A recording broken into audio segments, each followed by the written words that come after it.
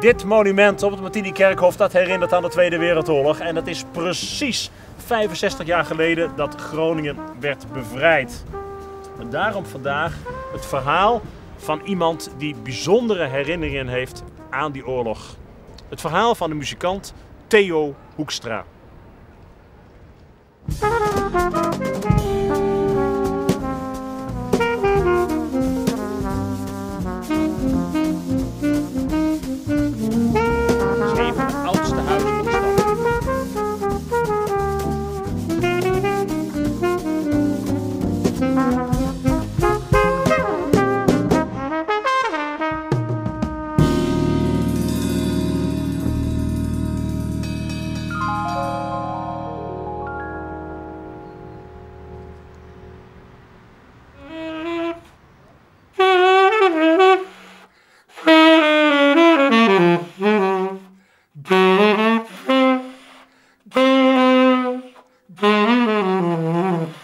Wat is dit voor een instrument? Dit is een tenorsax. En hoe lang speel je al op eh, saxofoon? Ik denk van mijn 18e jaar toen ben ik op een oude alt saxofoon begonnen. Altijd muziek gemaakt. Ja, voor zover ik ervoor in staat was, ja. De Rhythm Club. Ja. Hoe lang heb je met de Rhythm Club gespeeld? Nou, wel, wel, wel, wel, wel 40 jaar.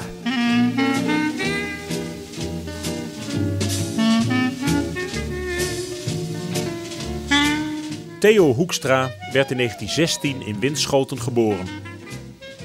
Hij werd postbode, maar muziek was zijn lust en zijn leven. Als dienstplichtig soldaat werd hij in 1936 tamboer. Op 28 augustus 1939 moest hij zich opnieuw melden vanwege de algemene mobilisatie en werd in Bergen aan Zee gestationeerd.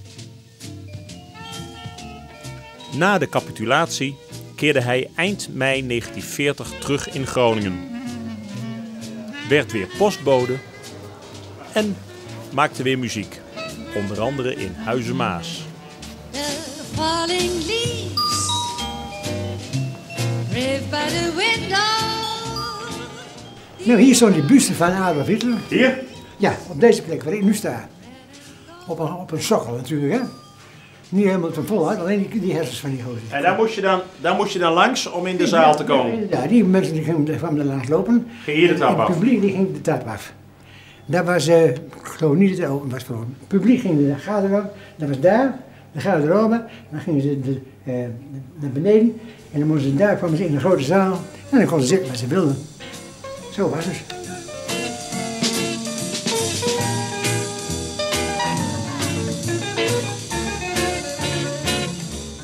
Na korte tijd werd hij als postbode gestationeerd in Leipzig. Hij bleef er een half jaar. Toen mocht hij met verlof naar Groningen en besloot er te blijven. Vanaf dat moment dus illegaal. Maar het kon hem niet verhinderen opnieuw muziek te gaan maken in Huizen Maas. Dit podium, hier heb je veel gespeeld. Ja, En toen eh, was je hier aan het spelen en toen werd je verraden. ja. Hoe ging dat? Onontkomen, die wezen die mensen, die, die kwam daar vandaan. Hij liep voorop en toen met, was met de groene politie. Die wees mij aan, dat was hem. Ik was on, onder. Je zat daar op het Ik podium. was op het podium, ja. Toen werd ik door de weg geplukt. En toen werd ik meegebracht. En werd ik naar de Ossenmarkt gebracht. Naar daar zo'n groot petitie waar de commissaris de koningin gewoond heeft. Daar werd ik ondergebracht. Heb ik de nacht doorgebracht. Toen hebben we de volgende morgen. Toen zijn we naar Martini Kerkhof vervoerd, naar het politiebureau. En daar heb ik eh, twee dagen gezeten. En toen ben ik met de Duitse groenlichtskaart, is het mijn geluk geweest, op transport gesteld. Eerst nog foto's maken in de stoeldraaier daar. En toen op transport gesteld met de boeinum naar het station. En bij mijn pa en moeder en mijn opa en mijn, we waren er getuigen van. En toen in de trein zijn we weggebracht naar Leer.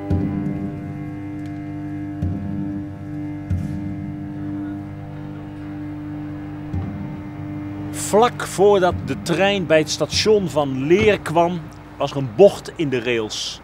De trein moest langzamer rijden. Dat was de kans voor Theo. Hij sprong uit de trein en maakte dat hij wegkwam. Na vele omzwervingen en verschillende onderduikadressen kwam hij hier terug in de stad op het Abel Tasmanplein, waar hij woonde nadat hij met Gree was getrouwd.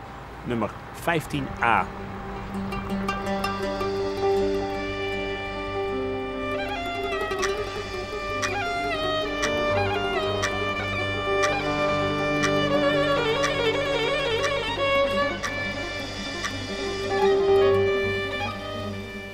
Loop ik in de straat, word ik op mijn schouder getikt. En die ene rechts, links naast mij, daar was de muur en één achter mij. Kon nergens in. Eh Midgame. Nou, bij een schoolhuis. En dan kwam ik binnen.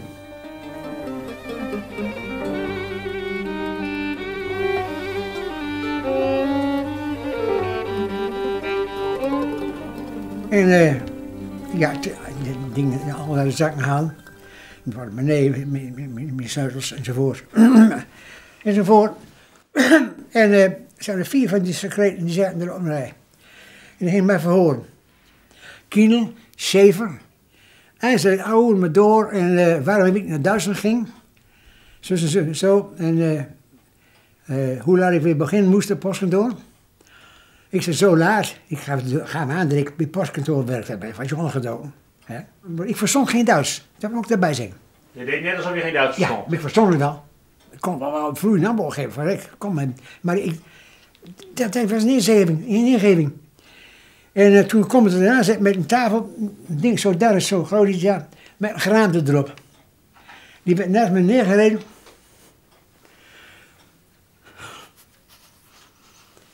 En toen zeiden ze, pistoot in mijn hoofd. Zet hem even aan die, die eh, de brief gekomen bent, wat erin staat. Ik zeg, ik heb het toch verteld. Ja, maar vertel de waarheid maar even. Dan ben je met een paar weken, een paar maanden net, zie je net zoveel als hij ook naast mij. Nou, dat is mij gebeurd. Verschrikkelijk.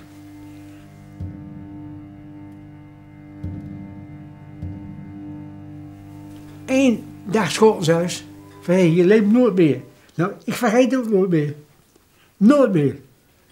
Nooit meer. Maar toen lieten ze je gaan uiteindelijk. Ja. Toen eh, kon ik wel weer gaan. En ik. En toen was ik zo koolbloedig dat ik vroeg om mijn, om, mijn sleutels weer terug en mijn zakmes en dat vroeg weer terug. En eh, toen lieten ze me, kon ik gaan. En ik had een, een, regenjas aan, die kon ik aan twee kanten dragen, binnen en buiten. Toen ben ik heel langzaam de trap afgelopen, heel statig. Jongen, ik was de onschuld zelf. Dus gewoon weer hier blijven. Ik liep de trap af. Bleef hem op de, op de, op de, op de trottoir staan. Maar ze kon van de, van de ramen konden ze goed bekijken. Dus zo, als je schuldig bent, dan maak je de bliksem. Nee, ik was niet schuldig, man. Voor mezelf niet. Ik bleef dus staan. Ik weet niet hoe ik die koelbloedigheid van, vandaan heb gehaald. Ik weet bij God niet. Toen ben ik over de markt over, overgestoken. Tussen de kraampjes in. En toen ben ik achter een stuk blijven staan. Om te kijken of ik van schot bekeken kon worden. Nee. Dus ik de jas omgekeerd, andere jas aan. Ik ging met een, don, met een, een lichte jas aan en ik kwam de, met mijn Donkere jas weer weg. donkere jas weer weg.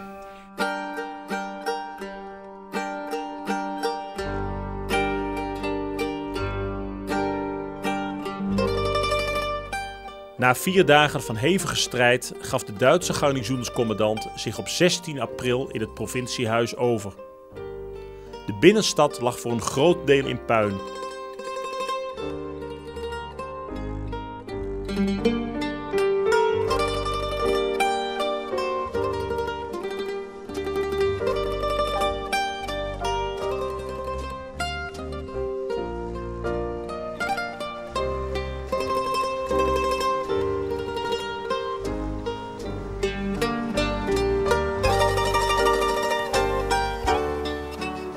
Toen de bevrijding aan de gang was, maakte Theo daar van boven, vanuit zijn huis, de eerste foto's.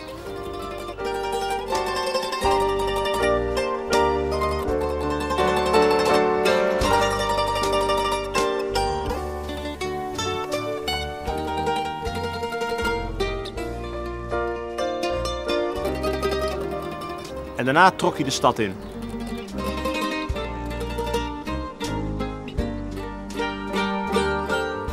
Toen ben je ook gaan fotograferen. Foto's van opgepakte NSB'ers. Ja. eh, Je was er zelf bij dat ze ja, gearresteerd tuurlijk. werden. Ja. Ik heb zelf mee gearresteerd, man. Je hebt zelf mee gearresteerd. Jazeker. Bij de Binnenlandse Strijdkrachten. Ja.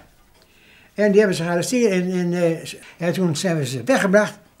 Eh, ik liep ernaast, aan de buitenkant. En eh, ook geen voor en achter. En me gezegd, jongen, jullie willen vluchten, ik kan verder lopen met jullie. Doe het maar niet. En liep ik daar en er waren de Nederlanders, de burgers, die wilden die, onze krijgsgevangenen, de NSB'ers, bij onze gevangenen, maar ze blijven met de pokken. Die wilden ze met, met, met, met- wilden ze slaan. En dat liet ik niet toe. En ik heb een van die Nederlanders die, die, die de NSB wou slaan, heb ik toch een klap met een stok over zijn poot gegeven. Nou, hij, hij deed niet meer. Je hebt ook foto's gemaakt van het bevrijdingsfeest Oosterbadstraat. Ja. Want daar had je vroeger ook gewoond, in de Oosterbadstraat. Ja, zeker. 44. Ik had gewoon nog film. Ik had zo vijf meter in een rol, gewoon zelf afknippen. Ik, zal kleuren, een paar kleuren. En dat heb ik allemaal gemaakt. En eh, al die festiviteiten. En toen ben ik de stad gegaan. En eh, heb ik ook heel veel foto's gemaakt.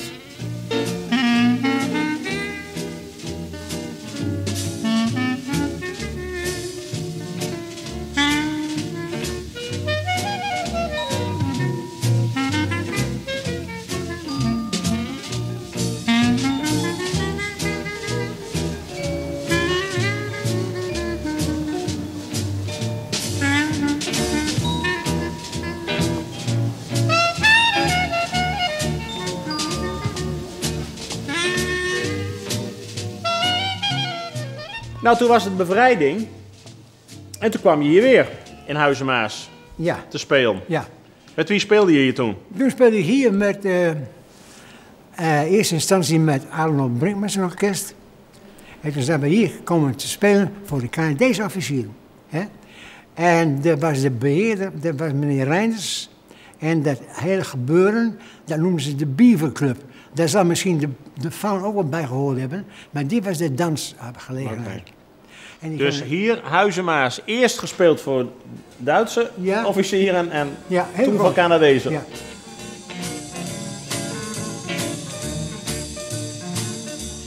Theo Hoekstra. Een leven lang muziek. Voor de oorlog, tijdens de oorlog en nog jaren daarna.